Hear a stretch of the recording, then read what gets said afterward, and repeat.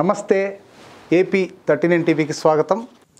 Telugu Desam party జాతీయ అధ్యక్షులు నారా చంద్రబాబు నాయుడు డెబ్బై మూడవ జన్మదినం సందర్భంగా అనంతపురంలోని సిరిడి సాయిబాబా ఆలయంలో డెబ్బై మూడు టెంకాయలు కొట్టి చంద్రబాబు నాయుడు చిత్రపటానికి పాలాభిషేకం చేసిన తెలుగుదేశం పార్టీ నాయకులు బంగి నాగా బాబా ఫక్రుద్దీన్ శివ తదితరులు.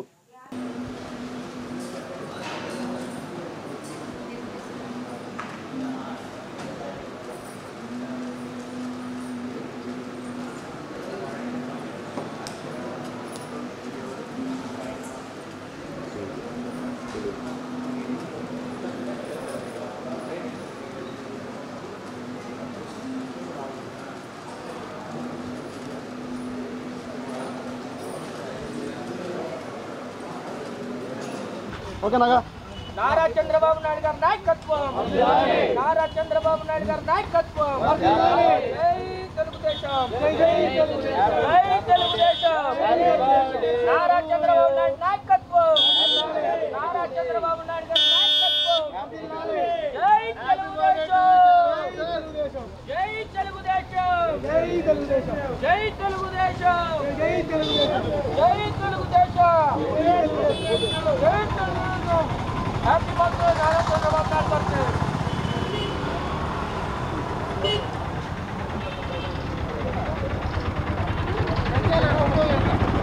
Nara Chandrababu Naidu నాయకత్వం ఆలోచన చేయండి ఒకసారి నాయకత్వం జై తెలుగుదేశం జై తెలుగుదేశం జై తెలుగుదేశం జై తెలుగుదేశం నగా నువ్వేనాగా వచ్చినావా నారా చంద్రబాబు నాయుడు గారి నాయకత్వం నారా చంద్రబాబు నాయుడు గారికి నాయకత్వం జై తెలుగుదేశం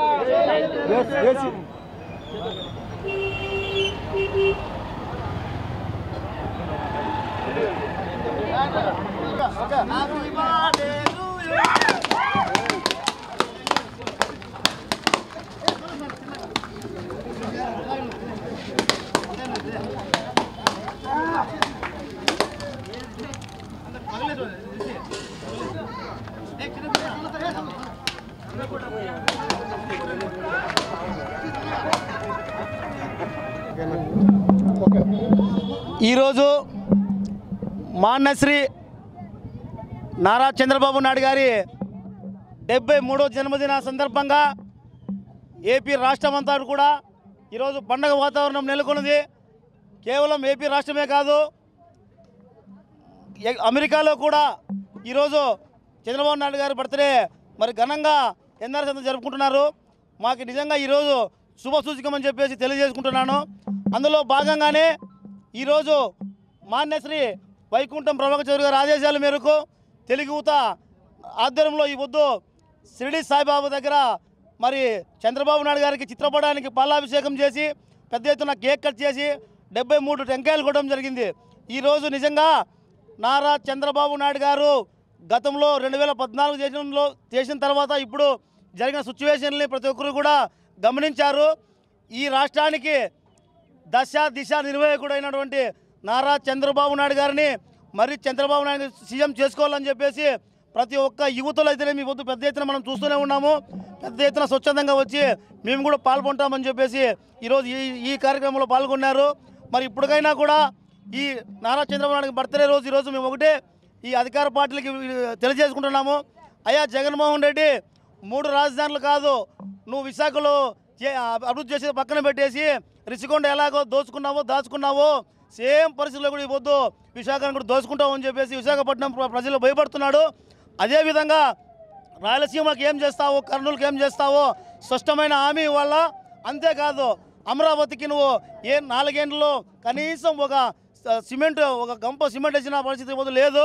ఈ రాయలసీమకు స్పష్టమైన హామీ ఇచ్చి నీ రాజధాని నీ రాజధాని విశాఖపట్నం మార్చుకోవాలని చెప్పేసి తెలియజేసుకుంటుండో మరొక్కసారి నారా చంద్రబాబు నాయుడు గారికి జన్మదిన శుభాకాంక్షలు చేసుకుంటున్నాం జై చంద్రబాబు నాయుడు! జై Chandrababu Naidu! Happy birthday Chandrababu Naidu sir గారికి మరొక్కసారి తెలియజేసుకుంటున్నా. తెలుగుదేశం పార్టీ జాతీయ అధ్యక్షులు ఎస్సీ ఎస్టీ బీసీ మైనార్టీల పక్షపాతి పేద బడుగు బలహీన వర్గాల ఆశాజ్యోతి అయినటువంటి శ్రీ నారా చంద్రబాబు నాయుడు గారి జన్మదినం సందర్భంగా ఇవాళ సాయిబాబా గుడి వద్ద మన రాష్ట్ర ఎస్సీసీఎల్ నాయకులు బంగినాగా గారు అలాగే టీఎన్ఎస్ఎస్ఎఫ్ మన అధికార రాష్ట్ర అధికార ప్రతినిధి డైమండ్ రఫీ తెలుగు యువత మన నగరాధ్యక్షులు బొమ్మినేని శివ గారు అలాగే ఎస్సీసెల్ విభాగం నాయకులు వినోద్ గారు ఋషి గారు ప్రతి ఒక్కరూ వచ్చి ఇక్కడ నారా చంద్రబాబు నాయుడు గారి చిత్రపటానికి ఈడ పాలాభిషేకం చేయడం జరిగింది. నారా చంద్రబాబు నాయుడు గారు నిజంగా ఆంధ్ర రాష్ట్రానికి ఎనలేని సేవలు చేశారు ఆయన. ఆయన ఐటీ విభాగానికి ఎంతో నిరుద్యోగులకు ఉద్యోగ అవకాశాలు అయితేనేమి ఉద్యోగ ఉపాధి అవకాశాల కోసం కియా పరిశ్రమ అయితేనేమి ఎన్నో ఇలా చెప్పుకుంటూ పోతే నారా చంద్రబాబు నాయుడు గారు దేశ విదేశాల్లో సైతం ముఖ్యమంత్రిగా ఆయన ఎన్నో పేరు ప్రఖ్యాతులను గడించిన మహనీయుడు మన నారా చంద్రబాబు నాయుడు గారు. అలాంటి నారా చంద్రబాబు నాయుడు గారి జన్మదిన జన్మదిన రోజును మనం జరుపుకోవడం నాకు చాలా ఆనందంగా ఉంది గర్వంగా ఉంది. అలాగే రాబోయే రెండు వేల ఇరవై నాలుగు ఎన్నికల్లో ఖచ్చితంగా నారా చంద్రబాబు నాయుడు గారు ముఖ్యమంత్రి కావాలని చెప్పి ఆయనకు ఆ భగవంతుడు నిండు నూరేళ్ళు ఆయుర ఆరోగ్యాలతో నిండు నూరేళ్ళు ఉండాలని చెప్పి ఆయనకు మరోసారి మేము కోరుకుంటూ ఆయనకు జై తెలుగుదేశం నారా చంద్రబాబు నాయుడు గారి నాయకత్వం వర్ధి